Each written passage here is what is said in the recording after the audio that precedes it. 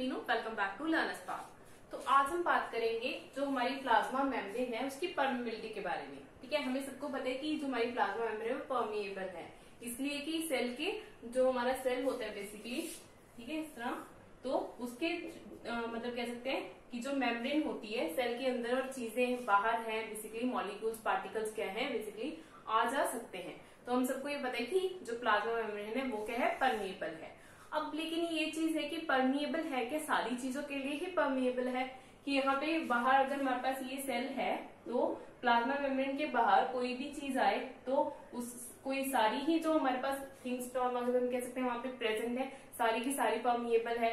तो आज हम उस परमेबिलिटी के बारे में बात करेंगे कि कौन सी चीज़ें बेसिकली हम कह सकते हैं, कौन से ऐसे मॉलिक्यूल्स हैं कि जो क्या है प्लाज्मा मेम्ब्रेन के लिए परमेबल है और कौन से नहीं है, उस चीज़ के बारे में आज हम बात करेंगे। तो इसलिए इन्होंने क्या है, हम इसकी एक सिंथेटिक जैसे प्लाज्मा मेम्ब्रेन बना ली है, ठीक है? उसके क्रॉस क्या है, बहुत सारी मतलब कह सकते हैं कि मॉलिक्यूल्स पार्टिकल्स का डिफ्यूजन किया गया कौन सी चीज़ें वहाँ उसके लिए परमिएबल हैं और कौन सी नहीं? तो ये देखेंगे, ठीक है? तो टॉपिक है हमारा जो permeability cross plasma membrane okay तो सबसे पहले इन्होंने यहाँ पे बात की है, जो हम आज हम बात करने जा रहे हैं, वो है हाइड्रोफोबिक मॉलिक्यूल्स ठीक है? Hydrophobic and hydrophilic two type of molecules होते हैं फिलिक और फॉबिक आपको तो हाइड्रोफोबिक मॉलिक्यूल्स के बारे में पहले हम बात करेंगे। हाइड्रोफोबिक में जैसे यहाँ पे मेरे पास कौन कौन से प्रेजेंट है? ऑक्सीजन होगी कार्बन डाइऑक्साइड होगी नाइट्रोजन होगी और ये बेंजीन अगर ये हमारे पास बाहर प्लाज्मा मेम्ब्रेन के अब मतलब बाहर है तो दे कैन इजी परमिएबल मतलब इनकी परमेबिलिटी क्या है? ज़्यादा है। ठीक है? मतलब they can easily cross the plasma membrane अगर हम बात करें उसके बाद small but they are the uncharged uncharged है ये कौन से? जो पोलर मॉलिक्यूल्स है। जैसे क्या हो गया? वाटर हो गया यूरिया विस्टोन ठीक है? तो they can also permeable to plasma membrane ठीक है? उसके बाद हमारे पास कौन से आते हैं देन यहाँ पे जैसे स्मॉल थे, यहाँ पे क्या है? लार्ज अनचार्ज पॉलर मॉलिक्यूल जैसे हमारे पास क्या हो गया? ग्लूकोज एंड द सुक्रोज अब ये क्या है?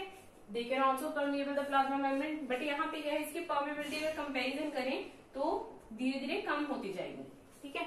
उसके बाद अगर हम बात करें आयंस की, ठीक है? आयंस जैसे सोडियम क्लोराइड पोटाशियम ठीक है? तो इनकी परमिएबल ये क्या है? They can not cross the plasma membrane मतलब ये क्रॉस नहीं कर सकते प्लाज्मा मेम्ब्रेन को ओके अब ये तो इस तरह से हम कह सकते हैं कि लेकिन प्लाज्मा मेम्ब्रेन के क्रॉस है जो सेल है, जिसे हमारा बना हुआ, हमने कहा कि आयंस है, इसके लिए परमिबिलिटी नहीं है, ठीक है?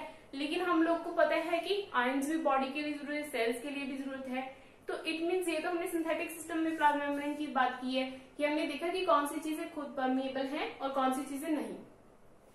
अगर हम सेल की बात करें, हमें पता है कि सोडियम पोटेशियम का एक्सचेंज बेसिकली होता है। आयंस का एक्सचेंज भी सेल में बेसिकली होता है। तो वो किन कारणों के कारण, कौन से रीजन ऐसे हैं कि जिसके कारण वो परमेबिलिटी बनती है, जो हमारी प्लाज्मा मेम्ब्रेन के क्रॉस है, उसकी परमेबिलिटी बन जाती है। अब हम उसके बारे में देखेंगे, ठीक है? तो उससे पहले अगर हमें कोई रिलेटिविलिटी पूछे इसे, हमसे पूछे कि कौन से मॉलिक्यूल्स है सबसे ज़्यादा परमिएबल है और कौन से सबसे कम? सपोज़ करो हमारे पास एक क्वेश्चन आया हुआ है और उस क्वेश्चन में हमारे पास कुछ इस तरह से दिया हुआ है कि हमारे पास मॉलिक्यूल्स दिए हुए हैं। ठीक है, जैसे मैंने यहाँ पे लिख लिए हैं। ठीक है? जैसे हम और मॉलिक्यूल्स के नाम यहाँ पे मैंने इस तरह से ये लिखते जा रही हूँ। ठीक है? और इनको बोला है कि इन सब में से कौन सा सबसे ज़्यादा परमिएबल है? ठीक है? अगर हमें इस तरह से कौन सा कम है, इस तरह से है ना हाई टू लो या लो टू हाई परमिबिलिटी के अकॉर्डिंगली देखना हो तो किस तरह से हम उसको मेंटेन करेंगे? अगर हम पूछे सीओ टू और ऑक्सीजन ये सबसे ज़्यादा परमिएबल होंगे, ठीक है? देन आ जाएगा हमारा वाटर मॉलिक्यूल देन आ जाएगा हमारा ग्लूकोज ठीक है? एंड देन आ जाएगा हमारा सोडियम तो इस तरह से क्या है? इसकी रिलेटिव परमेबिलिटी हम निकाल सकते हैं। हमें ध्यान रखना है कि सबसे ज़्यादा परमेबल है जो वो हाइड्रोफोबिक मॉलिक्यूल है देन जो स्मॉल अनचार्ज है देन लार्ज अनचार्ज है जो polar molecule and then last में हमारे कौन से हैं जो आयंस है, वो क्या है? परमेबल बेसिकली नहीं है। तो ये तो बात इसकी हमने कर दी थी, ठीक है? ये चीज़ हो गई अब। अब हम कह रहे थे कि जो परमेबिलिटी है तो प्लाज्मा मेम्ब्रेन क्रॉस होती कैसे है? जो कम परमिएबल है, उनकी लगा लो। जब जो बिल्कुल भी परमेबिलिटी अक्रॉस द मेम्ब्रेन है नहीं तो वो किस तरह से? उनके एक्सचेंज है, जो सेल में किस तरह से होता है, ठीक है? तो इस चीज़ को देखने के लिए तो इससे हम इस, इस चीज़ में कौन हेल्प करता है? जो परमेबिलिटी हम कह सकते हैं आयंस वगैरह की हमने कहा कि उसकी परमेबिलिटी नहीं होती अक्रॉस द सेल मेम्ब्रेन तो वहाँ पे क्या है? प्लाज्मा मेम्ब्रेन की क्रॉस तो उसकी परमेबिलिटी कौन मेंटेन कर रहा है?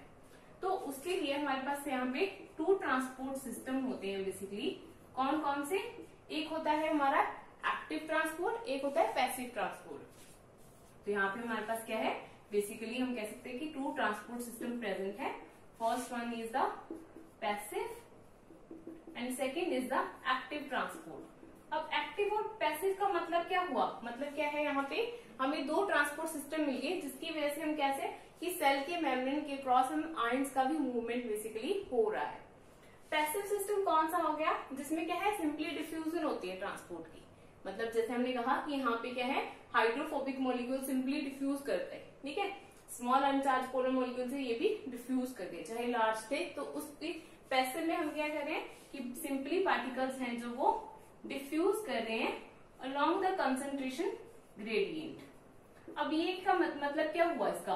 अलोंग द कंसेंट्रेशन ग्रेडियंट मतलब क्या है यहाँ पे? अगर हमारे पास सपोज़ कर रहे हैं, हमारे पास जैसे एक रूम है, ठीक है? तो इस रूम में हमारे पास यहाँ पे एक रूम हमने देख लिया है, ठीक है? तो इसमें क्या है? यहाँ पे क्या है? परफ्यूम की जो फ्रेग्रेंस है, इस साइड की उससे, उसके पार्टिकल्स हमने कह दिए? यहाँ से आ रहे हैं, ठीक है? अब यहाँ पे क्या है? इस साइड क्या है? कोई भी इंसान खड़ा है तो उसके पास पहले तो परफ्यूम के पार्टिकल उसको कोई इसकी फ्रेग्रेंस नहीं आ रही थी। धीरे धीरे क्या है? उसको क्या होता है? हम देखते हैं ना कि परफ्यूम की जैसे अगर इस साइड भी हो तो उसके पास भी धीरे धीरे वो पार्टिकल उसको भी फ्रेग्रेंस वो बेसिकली वो फील होने लग जाएगी। इट मीन्स क्या है? जो पार्टिकल्स हैं बेसिकली वो डिफ्यूज कर रहे हैं अलॉन्ग द कंसेंट्रेशन ग्रेडियंट मतलब from the high concentration to low concentration पहले यहाँ पे हाई कंसेंट्रेशन थी इसकी। हाई कंसेंट्रेशन से लो कंसेंट्रेशन है बेसिकली जो पार्टिकल्स हैं वो मूव कर रहे हैं। ओके ये तो हो गया हमारा पैसिव ट्रांसपोर्ट जब क्या हुआ? पैसिव मतलब क्या हुआ? हमें वहाँ पे कोई एनर्जी की ज़रूरत नहीं पड़ी। सिंपली जो पार्टिकल्स हैं वो डिफ्यूज करे एक होता है हमारे पास एक्टिव ट्रांसपोर्ट एक्टिव ट्रांसपोर्ट में क्या है? जब क्या है हमारे with the help of energy ATP की ज़रूरत पड़ती है वहाँ पे एनर्जी की ज़रूरत पड़ती है, वहाँ पे डिफ्यूज करने के लिए पार्टिकल्स को. और वहाँ पे एटीपी की ज़रूरत क्यों पड़ी? यहाँ पे तो पड़ी नहीं, ठीक है? क्योंकि वहाँ पे क्या है, जो सिस्टम चल रहा है वो क्या है? अगेंस्ट द कंसेंट्रेशन ग्रेडियंट अब यहाँ पे तो था अलोंग द कंसेंट्रेशन ग्रेडियंट अब यहाँ पे है अगेंस्ट अगेंस्ट मतलब क्या हुआ? कि उसके ओपोजिट अगेंस्ट मतलब क्या हुआ? ऑपोजिट अब क्या कह रहे हैं? ये particles high concentration to low concentration नहीं जा रहे ये कह रहे हैं, ठीक है? फ्रॉम द लो कंसेंट्रेशन कह लो आप टू हाई कंसेंट्रेशन तो इट मीन्स क्या है? उल्टा काम हो गया। पहले भी यहाँ पे फ्रेग्रेंस ऑलरेडी ज़्यादा थी, अब भी वहीं पे उन पार्टिकल्स को, जैसे हम सपोज़ करो हमारे पास, ठीक है? पार्टिकल्स पहले भी यहाँ थे, ज़्यादा थे और हम जो पार्टिकल्स इधर और थोड़े बहुत थे, उनको भी वापस इधर लेके आने की कोशिश करें तो इट मीन्स हम ऑपोजिट काम कर रहे हैं, ठीक है? इसके लिए हमें क्या है? एटीपी एनर्जी की यहाँ पे ज़रूरत पड़ती है। जब हम बात कर रहे थे पैसिव की, जो किसमें था? हमने कहा था कि पार्टिकल एक तो हो गए जो सिंपली डिफ्यूज कर रहे हैं। एक तो जो हो गए सिंपली जैसे ये डिफ्यूज कर रहे थे। अब यहाँ पे पैसिव में भी क्या होता है? समटाइम्स यहाँ पे जो कैरियर्स होते हैं या चैनल्स होते हैं, वो भी हेल्प करते हैं। जो पार्टिकल्स को बेसिकली उनकी मूवमेंट को। पैसिव में कौन हेल्प करते हैं यहाँ पे? कैरियर एंड चैनल प्रोटीन ठीक है? कैरियर एंड चैनल सपोज़ करें यहाँ पे एग्ज़ाम्पल अगर हम देना चाहें सपोज़ करो मेरे हाथ में एक बुक है ठीक है? तो यहाँ पे हाँ, मैंने उस बुक को थर्ड या फोर्थ बेंच पे पास आउट करना है आगे ठीक है? मैं सीधे इतने मतलब उसके लिए क्या है मैं सीधा अगर बुक को ऐसे पकड़ाऊ वहाँ तक पहुँच नहीं रही है। तो वहाँ पे क्या है? हमें क्या ज़रूरत है? जैसे हमने कैरियर कैरियर क्या हो गया? जो स्टूडेंट फ़र्स्ट बेंच पे बैठा है, मैंने उसको पकड़ाई उसने आगे पास कर दी, ठीक है? तो मतलब वहाँ पे क्या हुआ? एक कैरियर ने, ठीक है, उस चीज़ को पास ऑन कर दिया ओके सिमिलरली क्या होगा? जब हमारा सेल होगा, ठीक है? वहाँ पे क्या है उसकी मेम्ब्रेन पे मतलब कुछ कैरियर प्रेजेंट होंगे। क्या होंगे? कुछ कैरियर प्रेजेंट होंगे, जो पर्टिकुलर उस मॉलिक्यूल्स को क्या करेंगे? कैरी कर देंगे सेल के बाहर से और उसको क्या करेंगे फिर? अंदर ले आएँगे। ठीक है? तो कैरियर का ये काम होगा। ये इसकी हम बात करेंगे आगे। जब हम बेसिकली एक्टिव एंड पैसिव जो ट्रांसपोर्ट है, उसके बारे में थोड़ी डिटेल से देखेंगे कि किस तरह से इसकी डिफ्यूजन होती है और किस तरह से ये कैरियर और चैनल वगैरह वो काम करते हैं। ठीक है? तो आज का वीडियो बेसिकली क्या था हमारी परमेबिलिटी के ऊपर? ठीक है? Transport system active and passive उसके बारे में हम आगे डिस्कस करेंगे।